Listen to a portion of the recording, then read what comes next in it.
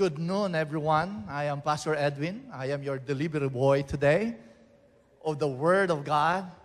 I'm so blessed to bring to you a word. I, you know, uh, remember Sister Shari started this message how to live your life. You count your life wisely because you got only one life to live and, and that you have to use this for God's glory. And I was just like uh, meditating that, and it's really amazing how God has given us the opportunity to experience His goodness.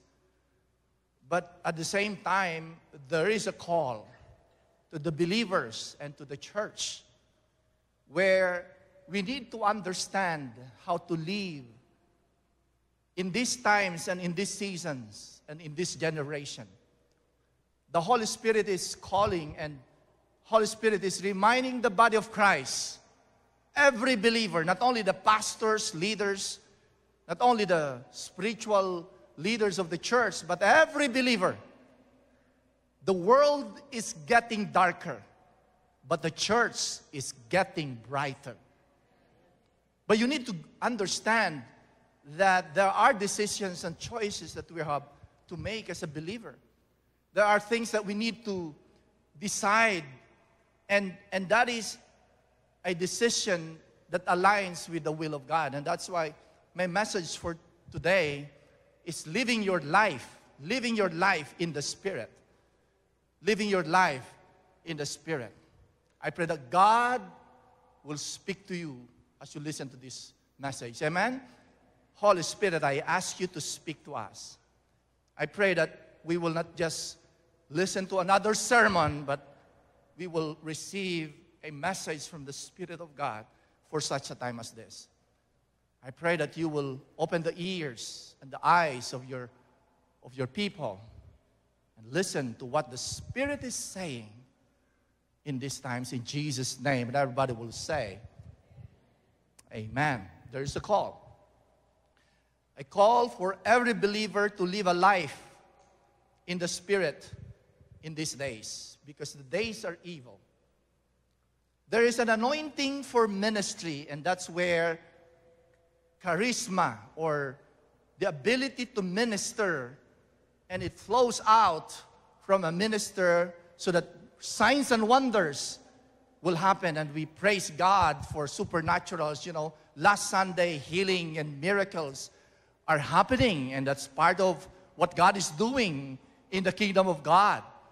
So, uh, much more in the coming days, that the church and the body of Christ will be anointed to minister and to display the supernatural of God.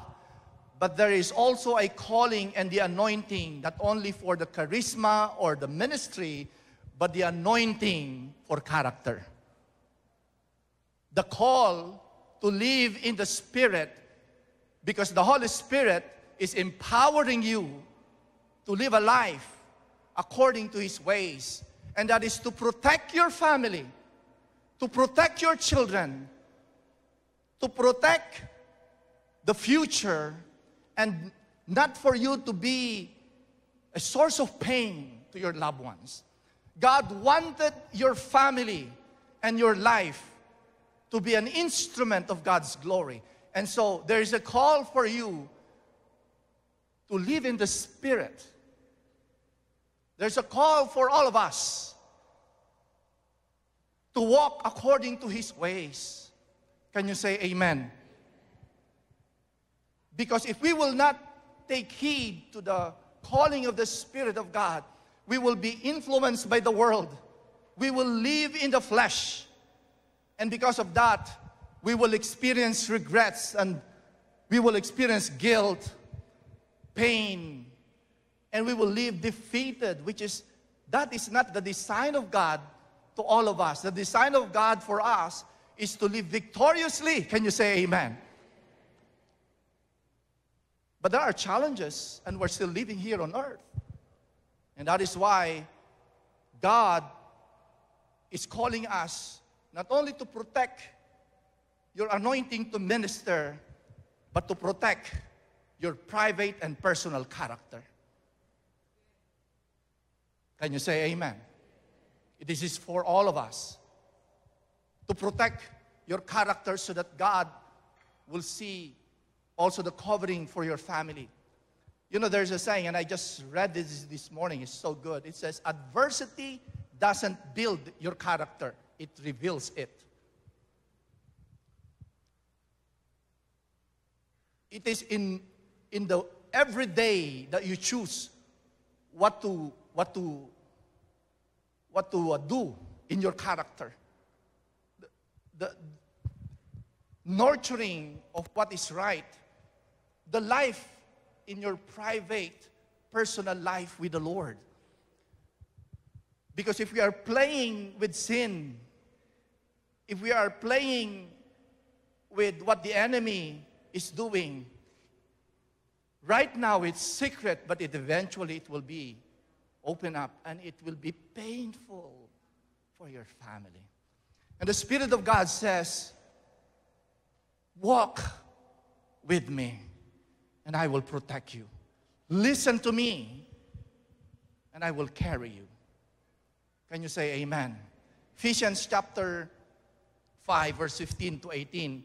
It says, Look carefully then how you walk, not as unwise, but as wise, making the best use of the time because the days are evil. The influence of the world to us is stronger than ever. And the enemy is trying to deceive you that sometimes righteousness, living a righteous life, is an alien thing, is a strange thing. And to do what is unrighteous and to do what is not right is a normal thing. You can see that all over the place. But I pray that the body of Christ will stand up for righteousness and they will not be ashamed and be embarrassed to do what is right in the midst of darkness, in the midst of unrighteousness, that the church will rise up and display, you know, God's character. We don't adapt ourselves to the trend. Sometimes you have to stand up alone But it is, it's, is, is it worth it? Yes. Because people are still looking for a genuine thing, the real thing. And believers can display that. Can you say amen? So, do not be unwise, but be wise. If I say wise, you're not just smart. Wise in a sense that you know what is right and what is wrong, and you will choose what is right. You will stand what is right. Verse 17 Therefore, do not be foolish, but understand what the will of the Lord is. And do not get drunk with wine, for that is debauchery, but be filled. Say, be filled.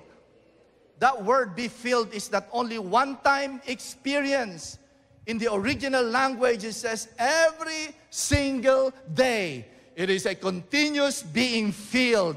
It is continuous, continued work of the Spirit of God over your life. It is a continuous walk with the Spirit. It is a continuous being immersed with what the Spirit of God is doing. He wants you not only to be prosperous in your business, he wants you to be a display of God's glory and righteousness in your business. In every career that you are in, He wants you to be a proof of God's righteousness. And so there's a call for us to be filled. The question how do we live in the Spirit? Give you three uh, points or truth where we can live in the Spirit. And Apostle Paul really and clearly outlined this in Romans chapter 8, verse 1 to 17. Let's start there in verse 1. Read in verse 1. It says, There is therefore now no condemnation. Say, no condemnation. No condemnation to those who are in Christ Jesus. Who do not walk according to the flesh, but according to the Spirit. For the law of the Spirit of life in Christ Jesus has made me free from the law of sin and death. For what the law could not do, in that it was weak through flesh, God did it by sending his own Son in the likeness of sinful flesh. On account of sin, he condemned sin in the flesh. So the death of Jesus in the flesh is the condemnation of sin in our flesh. So therefore, we can live free from condemnation. Can you say amen? Come on. Hallelujah. And that righteous requirement, it says in verse 4, of the law might be fulfilled in us who do not walk according to the flesh, but according to the Spirit. For those who live according to the flesh set their minds on the things of the flesh. But those who live according to the Spirit, the things of the Spirit. For to be carnally minded is death, but to be spiritually minded is life and peace. Because the carnal, um, carnal mind is enmity before, before God or against God, for it is not subject to the law of God, nor indeed can be. So then, those who are in the flesh cannot please God. Verse 9, but you are not in the flesh, but you are in the Spirit. If indeed the Spirit of God dwells in you. Now, if anyone does not have the Spirit of Christ, he is not his. And if Christ is in you, the body is dead because of sin, but the spirit is life because of righteousness. But if the spirit of him who raised Jesus from the dead dwells in you, he who raised Christ from the dead will also give life to your mortal bodies through his spirit who dwells in you. I will post there so many times if we read this verse, we use it for healing. And I believe so, the same principle is applied there. But in the context of this chapter, uh, the, the Spirit who raised Jesus from the dead that dwells in us is the one working so that our flesh will not be operating, it will be empowered uh, we will be empowered to subdue our flesh. And if I say flesh here, it's not actually literally the body, but it speaks of sin and sinful nature and selfish desire and all of those things. But you know what? You can overcome flesh because the same spirit that raised Jesus from the dead, the one that uh, works in the body, the dead body of Jesus, is also working in you. If He can raise the dead, He can raise your mortal body and He can bring life over your body so that you can overcome sin. Can you say amen? Come on, let's give a clap offering and to the Lord. Woo! Hmm. I have to continue because um, it says in verse 9, no, in verse 12, therefore, brethren, we are debtors not to the flesh, not to the sinful nations. If I say flesh, Again, it speaks of sinful nature, selfish desire. We're a debtor not to the flesh, to live according to the flesh. For if you live according to the flesh, you will die. But if by the Spirit you put to death the deeds of the body, you will live. For as many as are led by the Spirit of God, these are what? Sons and daughters of God. For you did not receive the spirit of bondage again to fear, but you received the spirit of adoption by whom we cry out, Abba, Tatay, Father. The Spirit Himself bears witness with our spirit that we are children of God. And of children and heirs, heirs of God and joint heirs with Christ, even did we suffer with Him that we may also be glorified together in Him. Three points. Number one, how to live in the Spirit. live your life with the freedom that the Spirit has given. Freedom in the Spirit. Verse 1 There is therefore now no condemnation. You are not being condemned by God. And I like what Pastor Jocel mentioned this morning. Your identity is that you are already a child of God. You are accepted. God settled your identity and your position before Him. It's all done. You are not rejected. You are a child of God. You are not condemned by heaven. And you are free from condemnation. You're not supposed to be living in insecurity, knowing that you are accepted and you are valued by heaven. You are not rejected or judged or condemned by heaven. And there's something about being free that releases your potentials and your identity and your confidence and your dignity and your value and worth. Remember, if you're operating in freedom, it is a, an operation by which you can choose freely and you can use your free will to do what is right. And, and how good it is that you are doing things like giving, as Pastor Amelet is saying. You are not obligated to give, but you are free to give because you have understood that this is the law that God has put into order. Not a law to obligate, but it is really a financial law that it will prosper you. Can you say amen? It will protect your uh, wealth. So you're free to follow that. You're free to love. You're free to forgive. You're free to uh, embrace your enemy and bless them.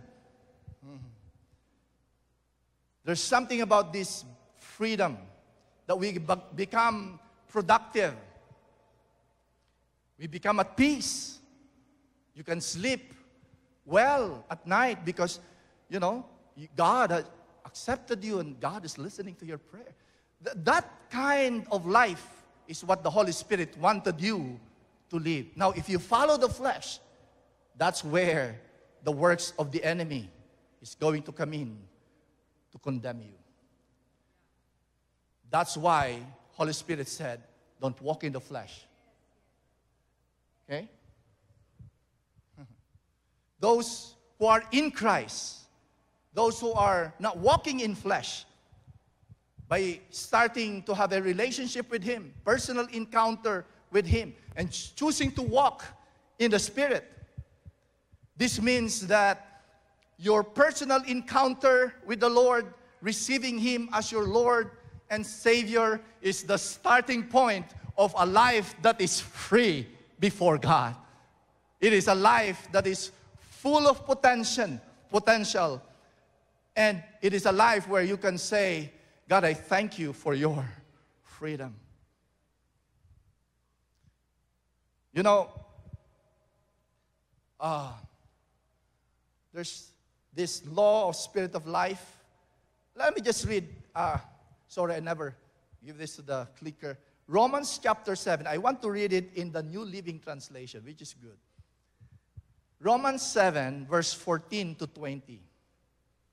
Because before, when I never received the Lord, alam niyo yung kantang, yung rap na, gusto kong bumait, pero hindi ko magawa. Okay? Don't you know that before the guy rapping that, Apostle Paul is already rapping it here in Romans chapter 7. It says here in verse 14, so the trouble, the trouble is not with the law or the principle or the word of God. For it is spiritual and good. The trouble is what? With me. For I am all too human slave to sin. That's your position before. That's your identity before. You are controlled. You are, you cannot decide. Let me just read so that we can understand. Verse 15. I don't really understand myself. Ito nga, ito nga yun, di ba? For I want to do what is right, but I don't do it. Can you relate before? I know what I'm doing is wrong, but I cannot do what is right. Instead, I do what I hate. Oh.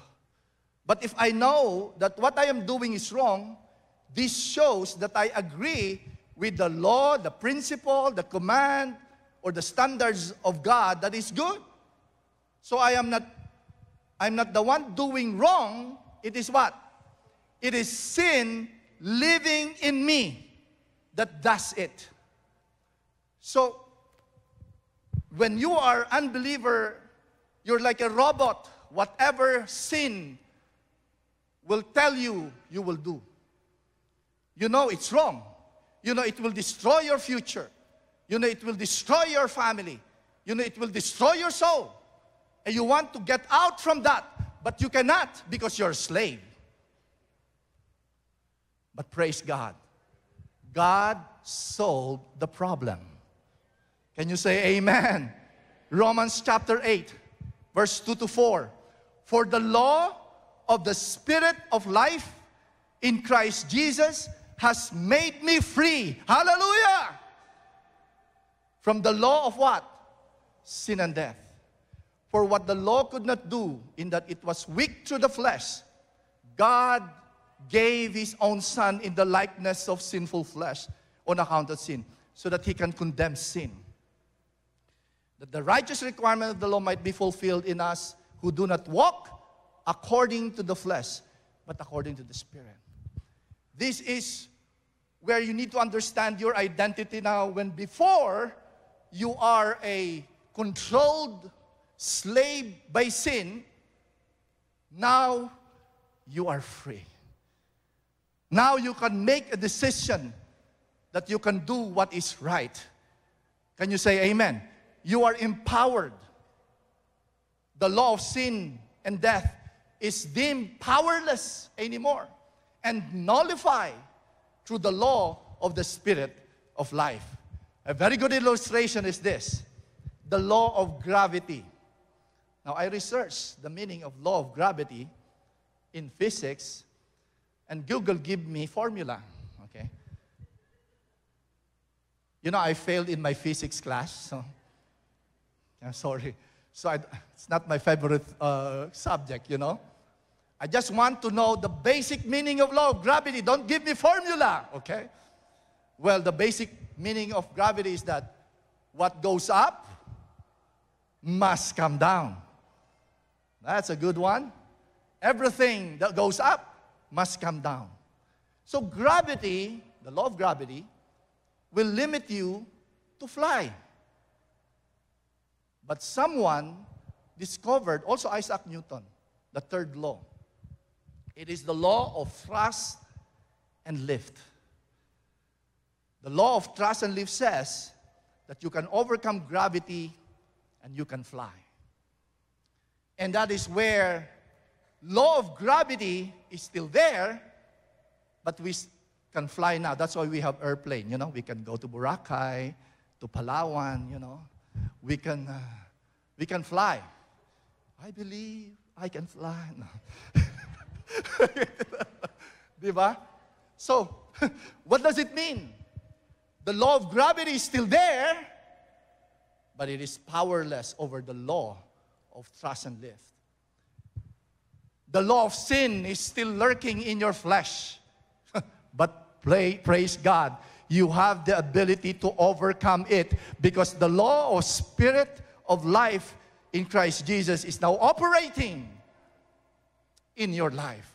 So you can overcome whatever temptation that you are facing. You cannot say, No, I'm just human. No, you are human with supernatural power from the Spirit of God to overcome any temptation. Come on, let's give a clap offering to the Lord for that. Now, just as gravity is still there, temptation is still there. And your body will still. In fact, I, I love to hear that in New Living Translation, in Colossians chapter 3, it says, sin is still lurking inside of you.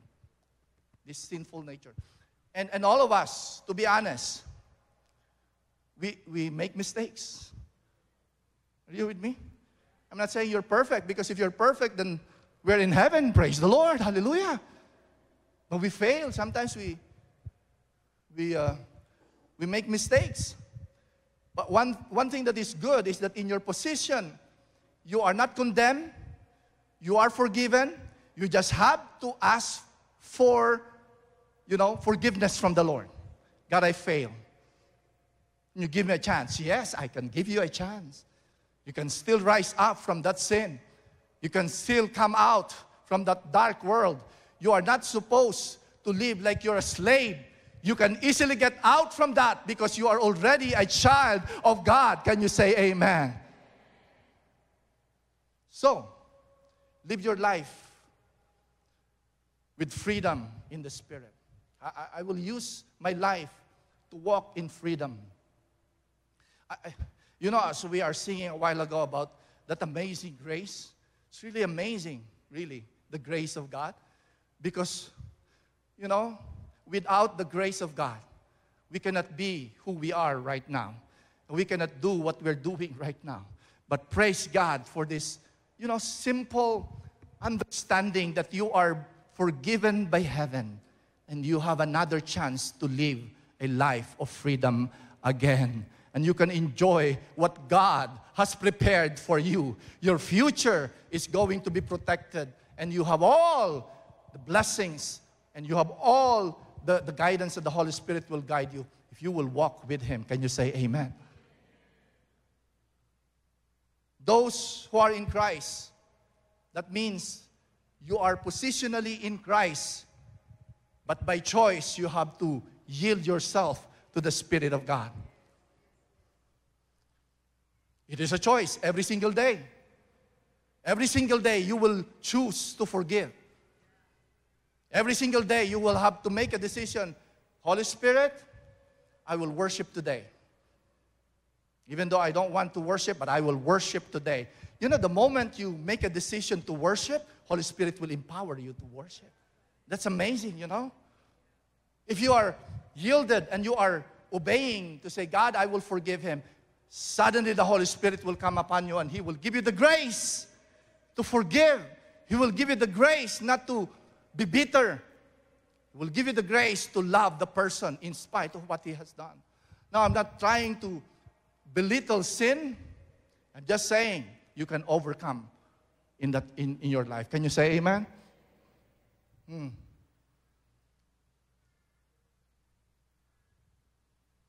So, sin is already powerless. Don't let sin come again. The only thing that the, the enemy or, the, or sin or sinful nature can enslave you is you permit them. Uh, there is no such thing as if, oh, I never realized I'm doing sin. No. You made a decision to do that sin. Yep. You made a decision to stay and watch that thing in social media and the Holy Spirit is already telling you, why are you watching that? Why are you? And you know, the Holy Spirit knows your heart and knows your mind. The enemy will not know your mind. He will give you some pictures and he will watch you being entrapped into that kind of sin. And he will watch you fall. You know, sometimes the enemy, he will just say, Sige lang. Okay lang, masarap yan. Walang nakakakita sa iyo. Walang nakakaalam. Walang makakaalam sa ginagawa mo. That's the deception of the enemy. Wow, so silent here. I'm just so strong. Selah. You know, in your private life, if you know that you are accountable with the Lord, God is watching. And it is not in a way where He controls you. He will give you conviction. Holy Spirit will gently remind you. It will destroy your future. Stop it now. I think I'm talking to someone today. God is concerned about your future, your children, and your family.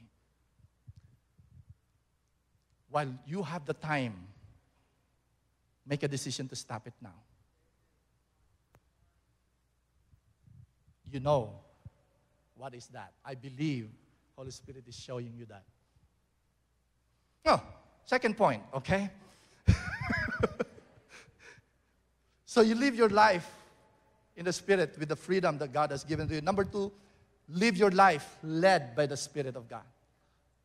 Verse 12, therefore, brethren, we are debtors not to the flesh, to live according to the flesh. We're not, we're not actually supposed to be obligated to follow the flesh. That's what Paul is saying. For if you live according to the flesh, you will die. Not literally, but your future will die, your passion will die, your family will be affected. But if the spirit you will put to death the deeds of the body, you will live. Verse 14. And this is where many believers has to understand because you have the ability to hear the voice of the spirit. You cannot deny the promptings of the Holy Spirit. I tell you, if you are in Christ, Holy Spirit will be so strong to speak to you, but He will not control you, He will lead you. For as many are led by the Spirit of God, these are the children of God. He's leading you because He knows your future will be destroyed. Come, follow me. No, don't do that, anak. Do this.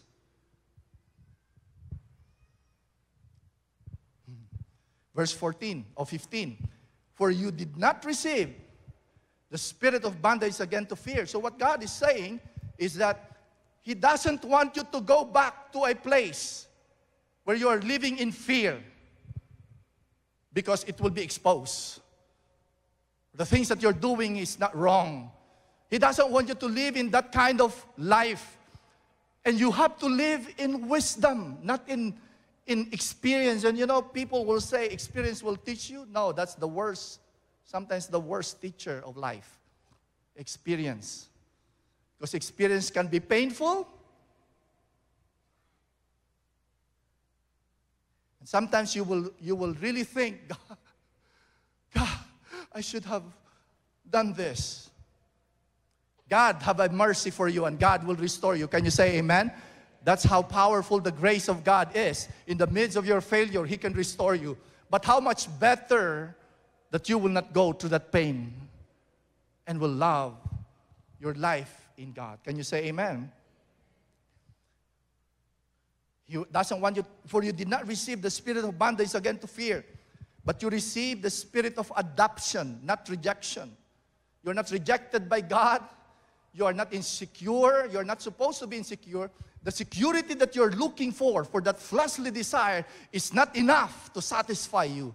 The real satisfaction is following the will of God. It might be hard right now, it might be boring right now, but it will bless you in the future. Can you say amen? Come on, let's give a clap offering to the Lord. I'm really teaching here, I don't know. Something in the spirit is being given to the people of God nowadays. Hallelujah. Because I, I, really believe the anointing of the Spirit of God. Oh, the move. Oh, the, the glory. I love that. But there's also glory in character. There's also glory in your private life where you don't have anything that you're hiding. You're open before God.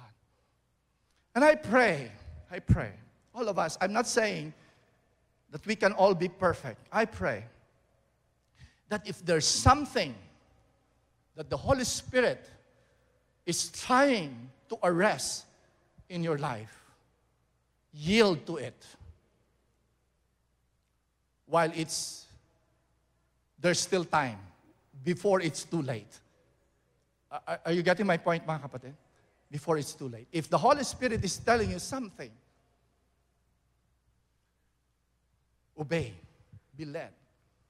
Verse 16, the Spirit Himself bear witness with our spirit that we are children of God. Anak ka ng Diyos, anak ka ng Panginoon. Hindi yan ang buhay mo. That's not your life. You're not created in that life. You have a better life. You have a better stature. You have a better identity. It doesn't fit with what you're doing right now. Stop it. And as you stop it, you will see the glory of obeying the Spirit of God. Can you say amen? You are led by the Spirit. If you're led by the Spirit, did you follow? You're not controlled, you're led. God has given you the freedom to obey. Those who are obedient, those who are willing and obedient will eat the what? The fruit, the good of the land. Be obedient. Can you say amen? And lastly, I got only three minutes. Hallelujah.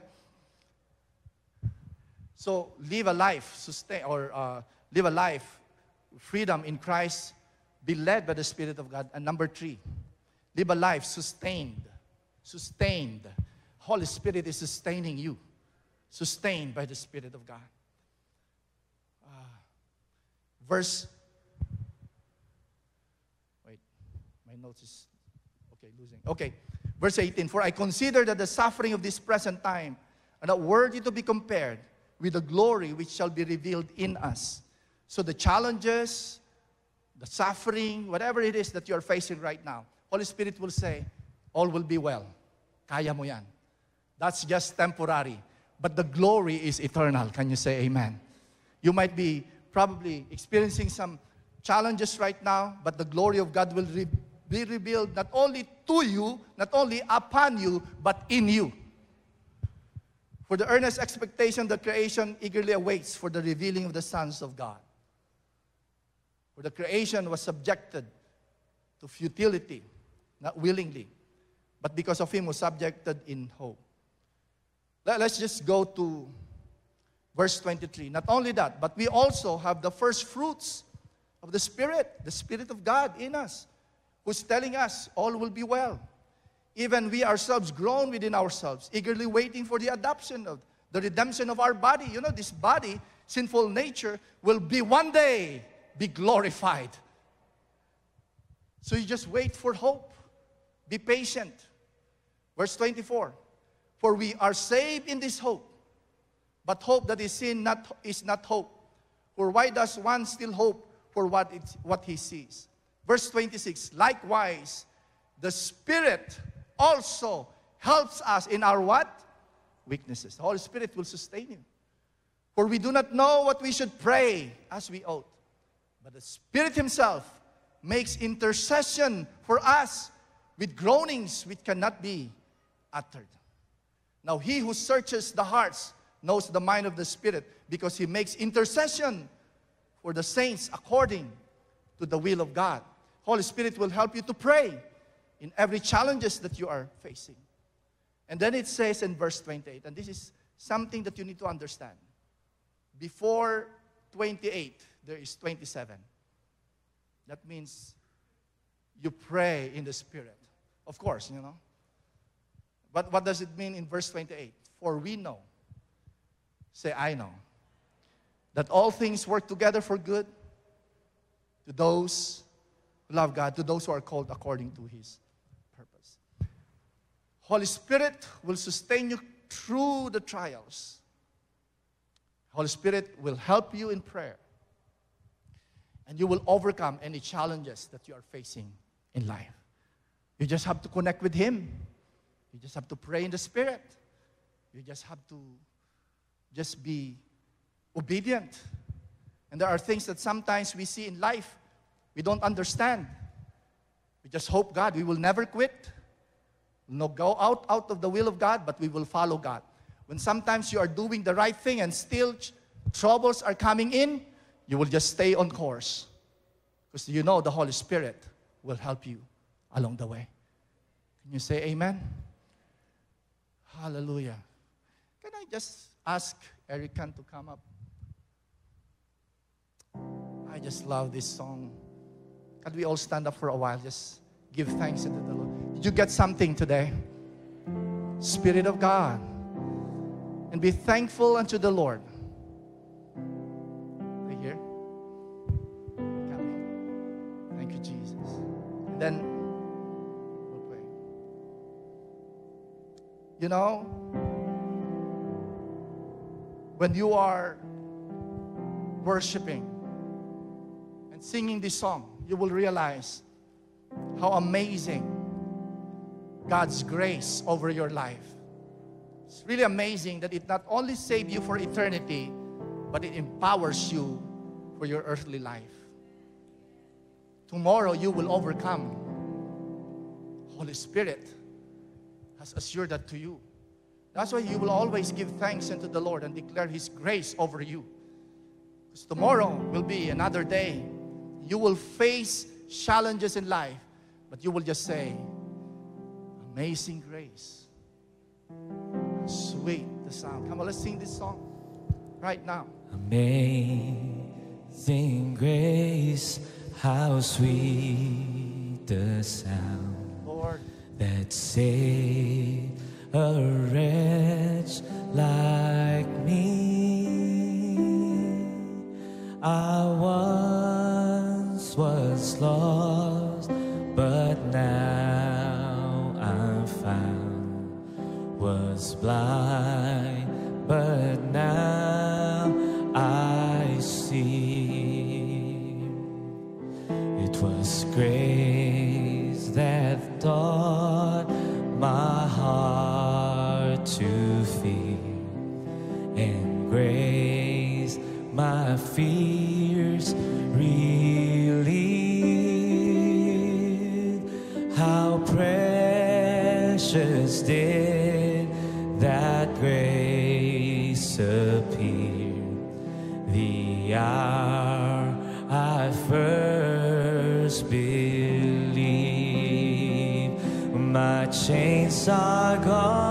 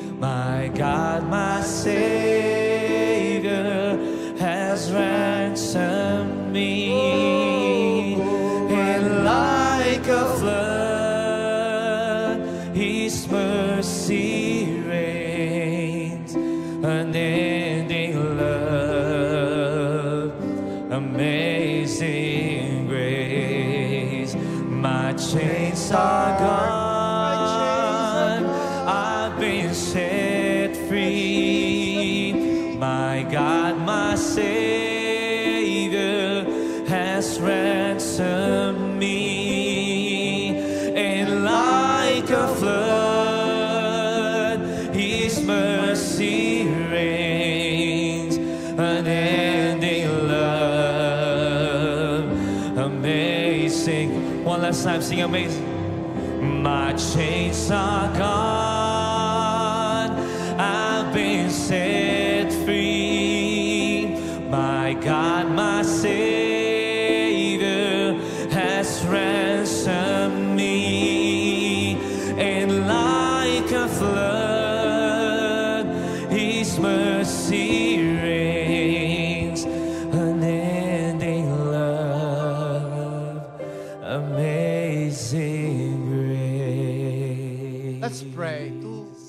That I would like to pray. First one, if you haven't received the Lord Jesus in your life, this is the beginning of a new life that is waiting for you. Never remember, I received the Lord in my heart. Then today is the day of salvation for you. If that's you, I want you to pray with me and make this as your personal prayer. And say this with me, together with the congregation. Make this as your declaration of faith that you are receiving God and you will follow Him. Can you say amen? Say this with me Lord Jesus, I open my heart. I invite you to come in, be the Lord of my life. Today I declare you are the Son of God. And I believe you and I will follow you. This is my prayer. In Jesus' name. Amen. Come on. This is the beginning of new life over you. I want you to follow Him all the days of your life. Second, people. There are people here, and while I was standing there, Spirit of God says, I want you to pray for those people who are dealing with fleshly failures. And you might be thinking, I made a mistake. My life is in ruin. I don't have any choice but to suffer the consequence. But the Holy Spirit is saying, today is a new beginning for you. And if you are that person, I'll pray for you right now. You don't have to leave your hands. You don't have to identify yourself. The Holy Spirit knows you. Your future is still protected. What God is asking you is to come back to Him. Repent, confess, and ready to ask for a new mercy. He will restore everything that was stolen because of that sin.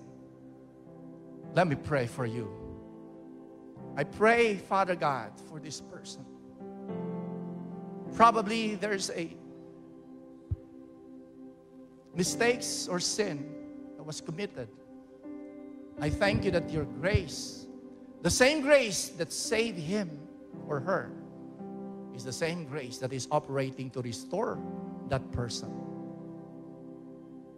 I thank you that he will make a decision to obey and to yield to the Spirit of God because your future, his future, the, the future of this person is still protected. God is a God of chances. God is a God of second chance, and He will give you another one. And if you fail again, He will give you another one. If you fail again, He will give you another one. Like this prodigal son who destroys his life, but when he came back to his father, he was restored. God is waiting to restore you. Can you say amen? You just have to make a decision. Yeah, I will go back to my father. I will enjoy the blessing that I lost. And I will just give my life to him. So, Father God, I thank you. Thank you for restoration in Jesus' name. Thank you that whatever is lost will be restored back. Thank you, Lord, that a new beginning, a new beginning, I declare today, a new day is starting, starting this time forward. In Jesus' name. And everybody will say, Amen. God bless.